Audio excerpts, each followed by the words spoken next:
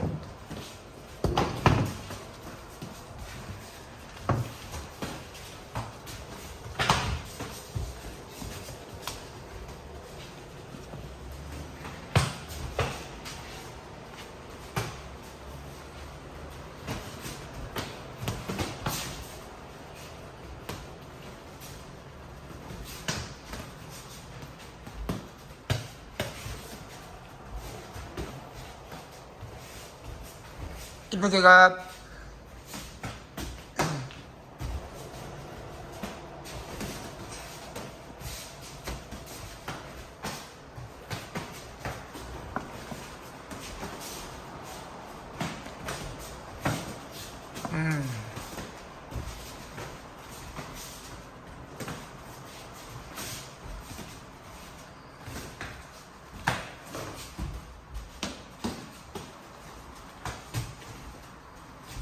前山とミドル蹴ってみろミドルを中間距離あんまマイクを詰めずに蹴りの距離で蹴りの距離でまずやってみろ。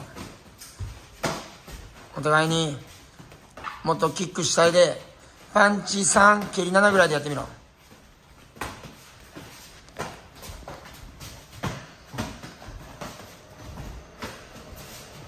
はいラスト1分。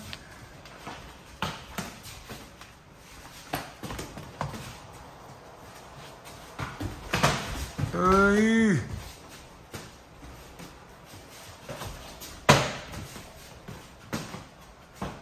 詰まるな詰まるな詰まるなマイト。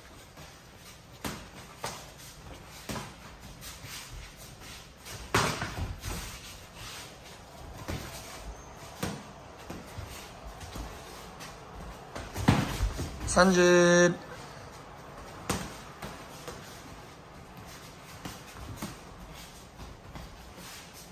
パンチよりもミドルキック主体で距離感を中間距離を覚えろ中間距離を。うん。だけど周平はこの距離のパンチからればレバー打ちの練習もできるぞ。うん。オッケー！